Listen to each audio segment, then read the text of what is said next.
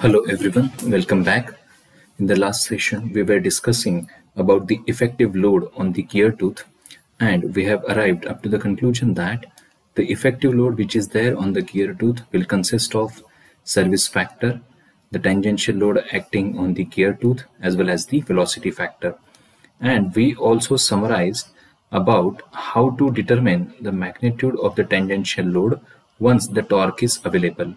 So this simple basic formula will be the basis using which you will be able to calculate the tangential force.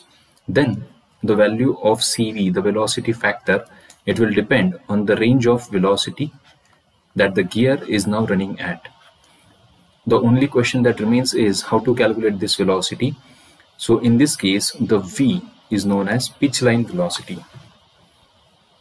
Just give me a second, I will put it here for you.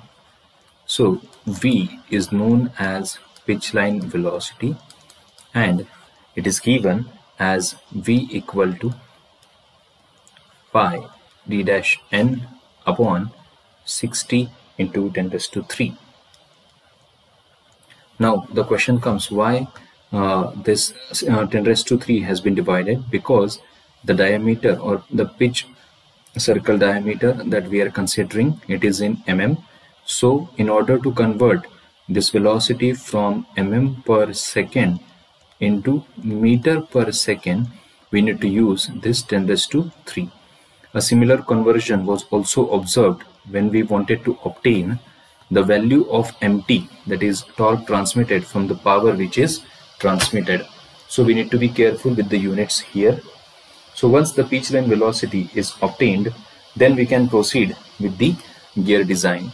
So in the case of gear design, one important aspect comes is that when the load is acting on the gear tooth, as we can see from here, here the PT is the tangential force which is acting on the gear tooth and the gear tooth has a face width of B, it has the base thickness, root thickness of T and H is the height of the gear tooth.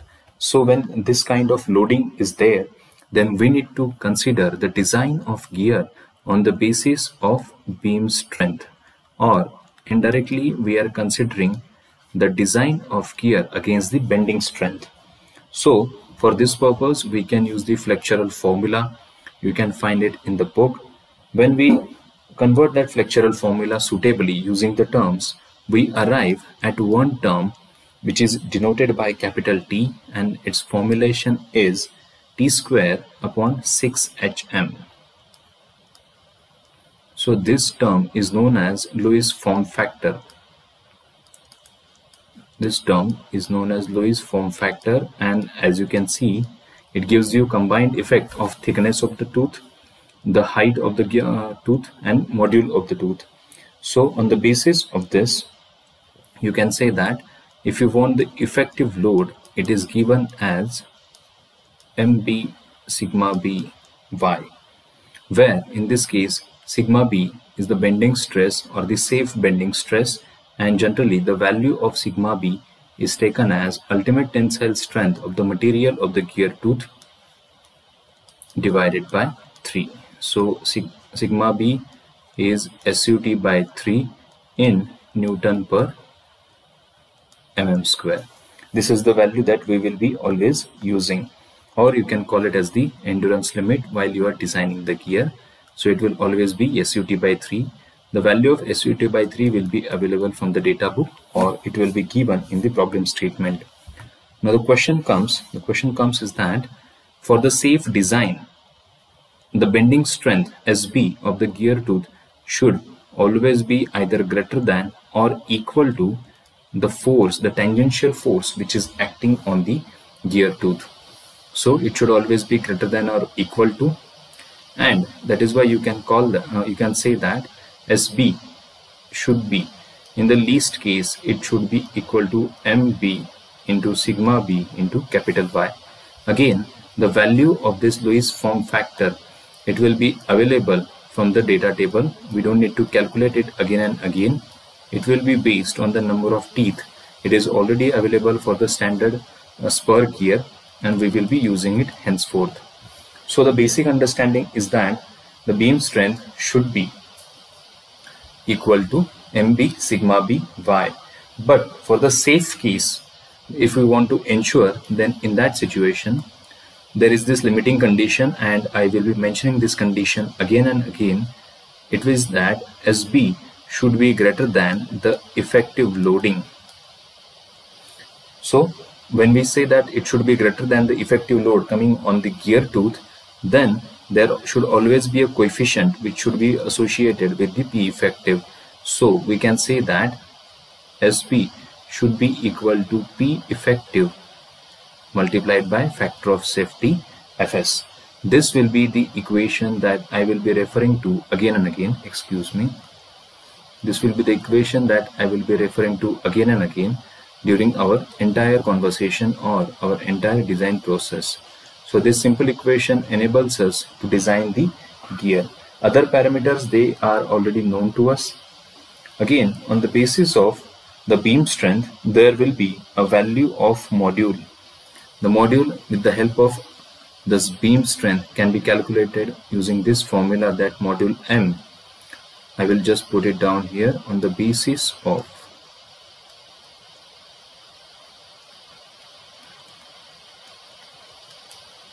beam strength.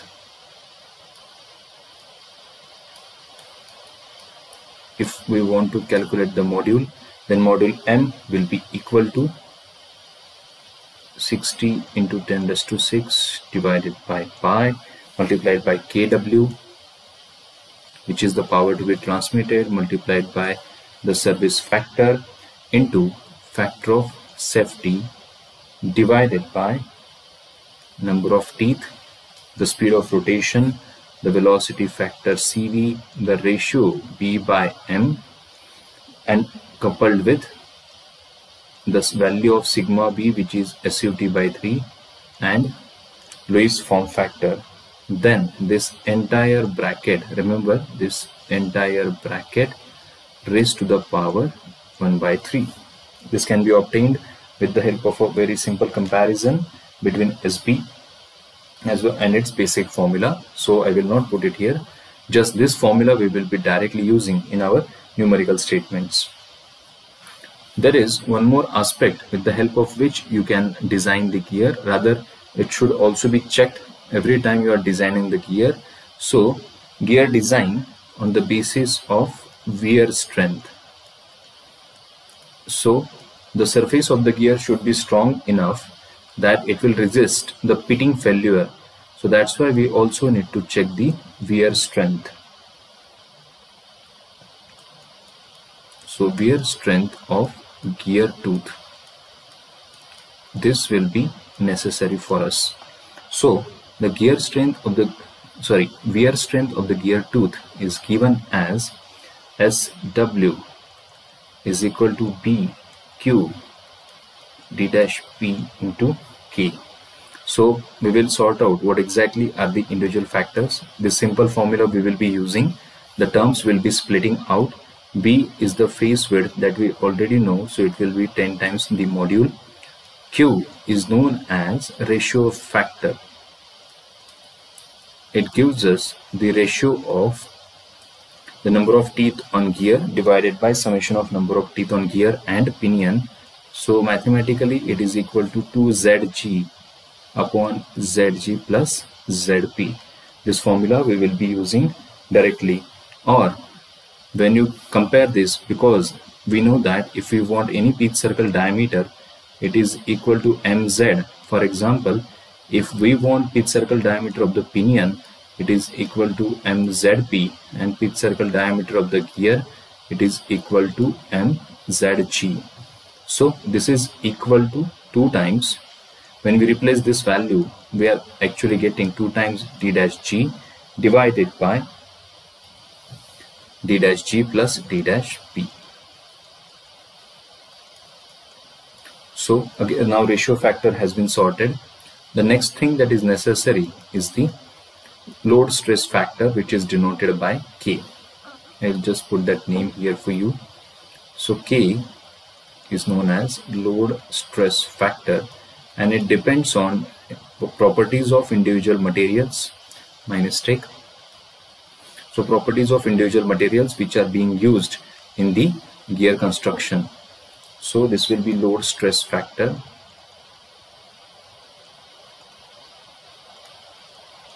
And mathematically it is given as K is equal to sigma C square sine alpha cos alpha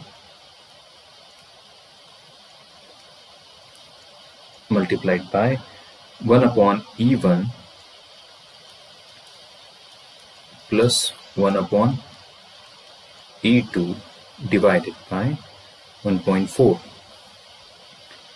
So in this case, alpha is the pressure angle, sigma c is the surface hardness rating, capital E is the modulus of elasticity or Young's modulus as we know from our basic strength of materials.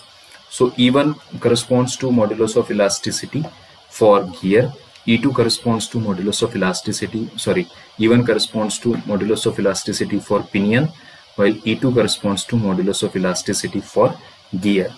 So there can be one limiting case, one standard case in which both pinion and gear, if they are made up of steel, let us say both of them, they are made up of steel so in this case, we can safely assume that the value of E1 or E1 is nothing but E for pinion and it is also equal to E2 or E for gear. So in this case, let us say if this value is 206,000 mega 206,000 megapascal or Newton per mm square. We know from SOM that megapascal and Newton per mm square are these same units and if it's a 20 degree pressure angle system furthermore if the surface roughness or so my mistake surface hardness is 0.27 on a Brinell hardness scale kg force per mm squared or it is also equal to 0.27 we need to convert it into uh, standard system of unit. So 0.27 multiplied by 9.81 on the scale of hardness newton per mm square. So when we substitute all of these values in the equation of k what we get is the final value or the simplified expression for k which is generally the case. So k becomes 0.16 bhn upon 100 bracket squared. So this will also be one of the simplified uh, simplified relations that we will be using while solving the numericals if both the gear and uh, pinion they are made up of steel. Now when we get to the basic understanding what we want is that for the safe design the value of this wear strength which we have calculated using P, Q, D dash P and K, this value should be greater than P effective. Like I said, just in the case of the beam strength, the basic logic is that SB should be greater than P effective. This simple thing helps us to uh, design the entire gear. You don't need to mug up many equations if you understand this simple thing. So what we get here is, give me a second. So the basic understanding or we can say for safe design. Ultimately wear strength should also be equal to effective load coming on the gear tooth. And when we want to remove this sign this greater than sign it means we have to write down the term with a coefficient. So SW should be equal to P effective multiplied by factor of safety. With only with the help of additional factor of safety, we can establish, we can create, we can use this equal to sign. Then we already know the value of P effective uh, from our CSPT upon CV expression. When we substitute all of the quantities, when we compare both the sides, we can get the value of module. The derivation is uh, right now not necessary so module based on wear strength also we can establish. So module based on wear strength. This module the formula will be similar to the module that we evaluated during the beam strength. On the basis of wear strength it will remain like this 60 into 10 raised to 6 divided by pi so kw which is to be transmitted cs into fs divided by only instead of z it will be zp square then np then cv b by m ratio multiplied by q multiplied by k. If you remember instead of q and k that there was this y in the case of beam strength and this entire bracket raised to the power 1 by 3 in this way we can evaluate the module based on the wear strength. Once we sometimes it might be asked in the numerical. So this was the basic that we needed to learn before directly going for the design of the spur gear. In the next lecture we will uh, solve one numerical using this fundamental understanding that we just need to have proper face width. We need to select minimum number of teeth. We need to calculate effective load on gear tooth. Once we have that p effective see the, these are the key formulas whichever i'm highlighting. Once you have this formula immediately everything else will proceed once you practice the numerical. You won't need to mug up the things once you solve the numerical by hand. So once you have p effective you can go for the comparison. Yes that might be effective it should be lesser as compared to the beam strength. So beam strength should be evaluated. Once beam strength is evaluated using mb sigma by yes i mean uh, let me just highlight this formula for you. So once beam strength has been evaluated as mb sigma by uh, and individual parameters determined we can uh, compare again once again with the help of wear strength bq dpk and then once you have all of these you can say that the design should be safe or not. So we will proceed with the numerical in the next lecture. Thank you